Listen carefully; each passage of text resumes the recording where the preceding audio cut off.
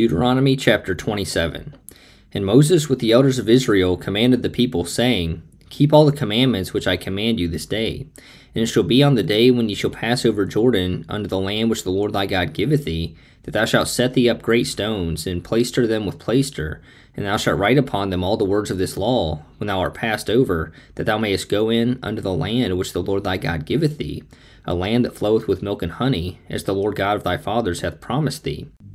Therefore it shall be, when ye be gone over Jordan, that ye shall set up these stones, which I command you this day, in Mount Ebal, and thou shalt plaister them with plaister, and there shalt thou build an altar unto the Lord thy God, an altar of stones.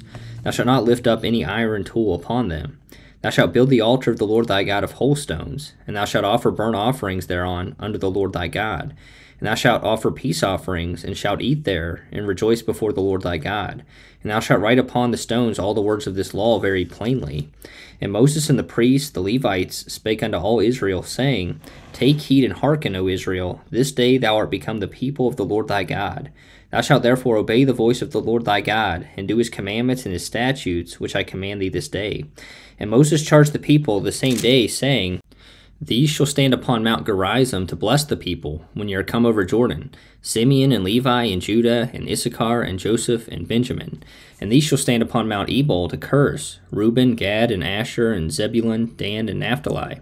And the Levites shall speak and say unto all the men of Israel with a loud voice, Cursed be the man that maketh any graven or molten image, an abomination unto the Lord, the work of the hands of the craftsman, and putteth it in a secret place.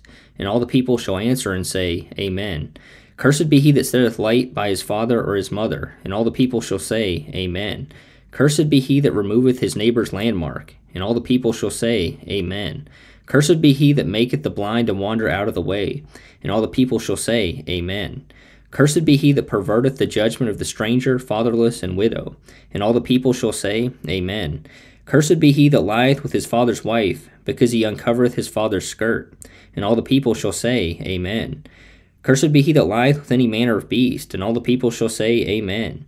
Cursed be he that lieth with his sister, the daughter of his father, or the daughter of his mother. And all the people shall say, Amen. Cursed be he that lieth with his mother in law. And all the people shall say, Amen. Cursed be he that smiteth his neighbor secretly, and all the people shall say, Amen. Cursed be he that taketh reward to slay an innocent person, and all the people shall say, Amen. Cursed be he that confirmeth not all the words of this law to do them, and all the people shall say, Amen.